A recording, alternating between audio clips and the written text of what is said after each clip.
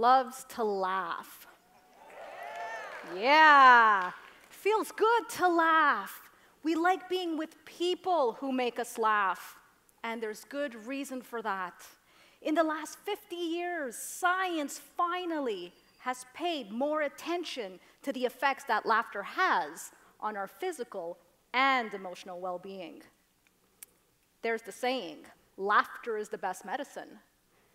Imagine if our doctors one day started including laughter in their prescriptions.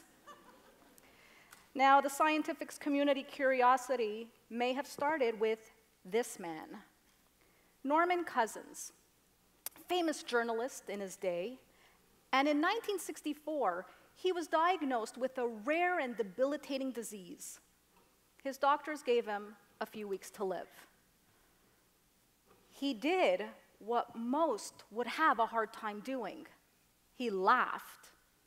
He made it a point to laugh every day for 30 minutes until the day he died, 26 years after the diagnosis.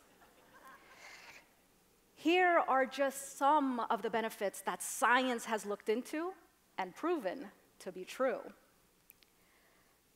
Science, science, laughter helps to strengthen the immune system and the brain.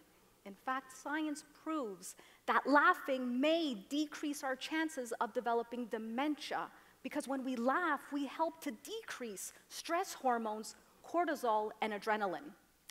When our bodies overproduce these stress hormones, science has shown that it could actually damage certain parts of the brain. On the other hand, when we laugh, we increase the production of feel good hormones known as endorphins and dopamine. These are the same hormones that give runners the runner's high. That's why we feel so good after a good bout of laughter. And when we feel good, our immune systems work better too. Laughter helps to protect the heart and the lungs. In fact, laughing helps with the function of blood vessels. It improves the function of blood vessels. As we laugh, we increase blood flow, similar to a light cardio workout. It's great.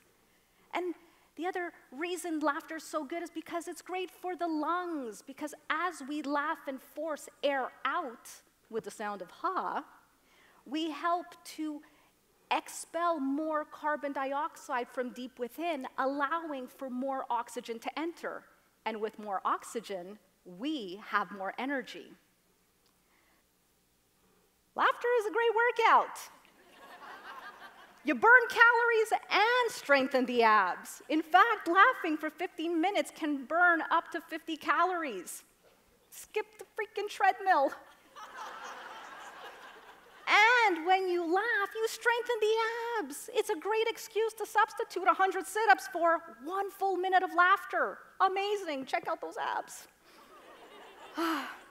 the other great thing about laughter, it helps to increase the production of the human growth hormone. Science showed that laughing increases the production by 87%. Now, as you can see, the human growth hormone, we got a lot of it in the early years, but then it just slides off the scale by age 30. So if we laugh, we help to produce this human growth hormone, and this is great because it helps with body composition, body fluid, it helps keep our bones and muscles in check. It helps with our sugar and fat metabolism. Amazing. Laughter increases quality and quantity of life. Science shows, a Norwegian study showed that people with a strong sense of humor outlived those who didn't laugh as much. Now, you may recognize these four very funny ladies. They've been making us laugh for a very long time, and they're nowhere near stopping. Lily Tomlin is 78, Carol Burnett is 84, Betty White is 95. Ellen, she's a baby. She's only 59, soon to turn 60. And I'm willing to bet she's nowhere close to stopping making us laugh. She'll still make us laugh in 40 years from now. Check it out. Now, as great as it is to have these funny ladies and others make us laugh, the good news is We don't need to wait for someone or something to make us laugh.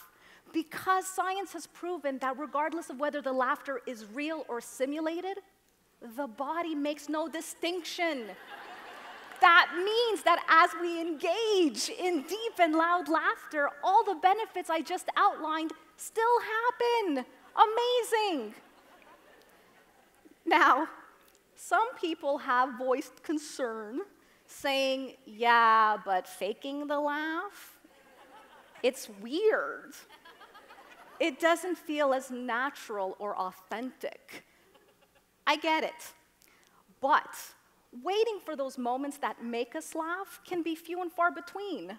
So rather than leave it to chance, we can choose to laugh. Now, here's something else that happens as we engage in this laughter. That's where the emotional well being kicks in. Because as we do engage and we laugh and laugh, we start to feel the emotions associated with laughter. This is how we give rise to hope, to joy, and increase feelings of happiness in our lives. So, how do we laugh more every day? If waiting for the bus or the boss is about to start a meeting, that's not a good time to start laughing. but you can exercise laughing in your homes doing chores like washing dishes or fixing the bed. You can. Or sitting in your car stuck in traffic, great opportunity to exercise laughing. And if you get to laugh with others, ah, hallelujah. Now, I like to say no theory is valid without practice.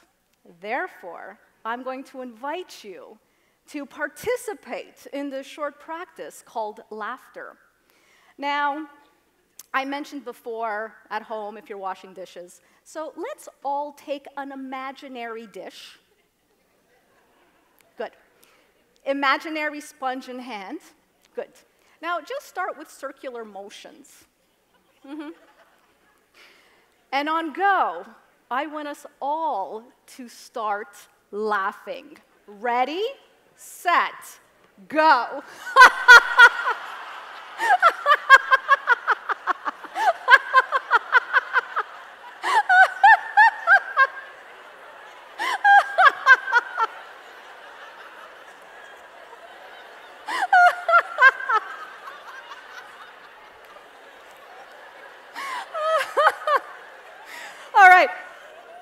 dish is clean. Oh.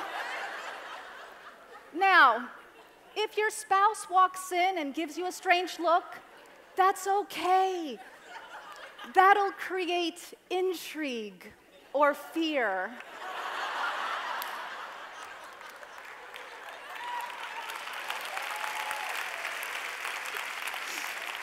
Uh, I, um, let's do one more. Okay, this is, no, this is a really good one because when you're stuck in traffic, this is where we have a lot of adrenaline kicking in, right? So we need to bring the adrenaline down, okay? Gotta protect the brain. Okay, so grab the steering wheel. 10 o'clock, 2 o'clock, like we were taught in school, right? And no one does it. Okay. Big smile. Okay. And now we know we have to laugh. Take a deep breath in and laugh.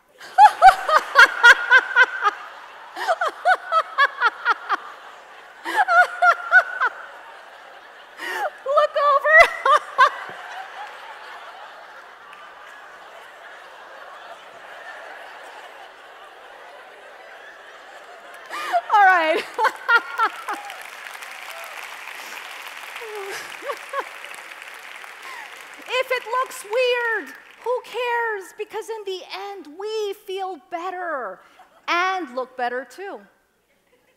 Now, I adopted this practice 10 years ago, and I haven't looked back since. I make it a point to start my days every day with one minute of laughter. And as much as I can, I try to kick it up. Here's the deal it's within our power, right, to decide to laugh more, to do whatever we can to increase positive feelings in our lives. So it's up to us to laugh bold, laugh strong, and laugh more so we build our bridges to better health and happiness. Thank you.